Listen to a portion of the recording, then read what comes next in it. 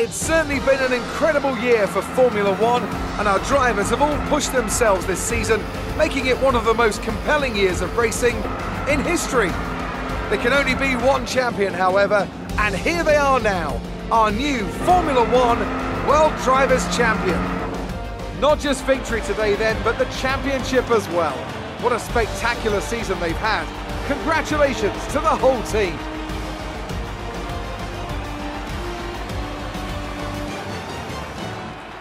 So Anthony, what made the difference out there today? Well, time management probably played quite a large role in the outcome of this one.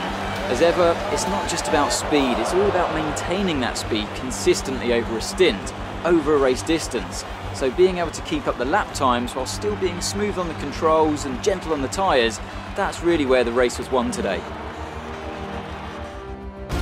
Here come our winners now. A thrilling race and a tremendous effort by Ferrari. Their history is well known, so it's no surprise to fans the world over to see them come out on top once again.